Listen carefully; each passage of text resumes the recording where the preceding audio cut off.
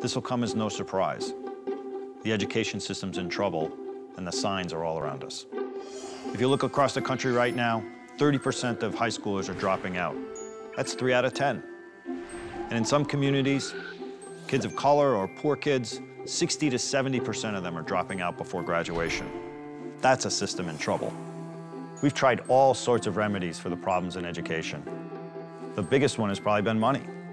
Are you satisfied with the return on your investment?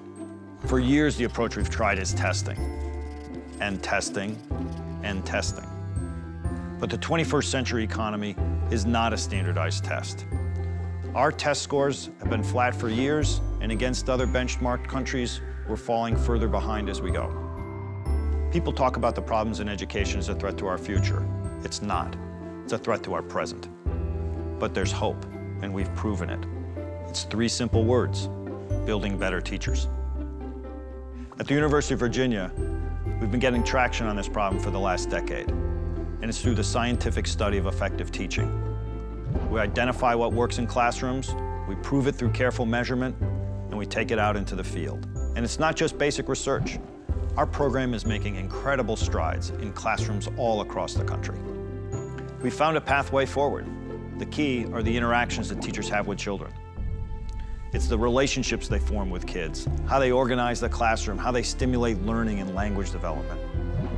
When those interactions are in place, children are achieving better, we get better test scores, and they're more engaged in school and don't drop out.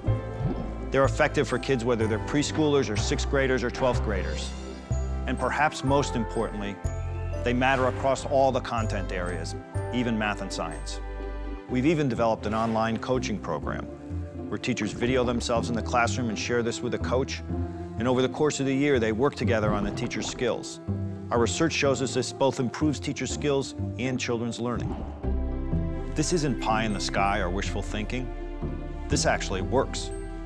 Our research has shown that this approach to coaching can close the achievement gap for disadvantaged students by half in a single year. We've already trained hundreds of coaches and thousands of observers who are working in more than 80,000 classrooms from preschool to high school all across the country. In preschool, we're working statewide in Florida and in Minnesota, in Georgia, and in most of California. In secondary classrooms, we're working in Virginia and several other major districts. And in Head Start, we're working with more than 50,000 teachers all across the country in 50 states where our tools are the benchmark for quality. What does this map tell us? It tells us the system's scalable. It doesn't depend upon unobtainable skills or expensive equipment. And our research tells us it works. Look, we can keep pouring billions of dollars into solutions that we know don't work. Or we can try something else, building better teachers.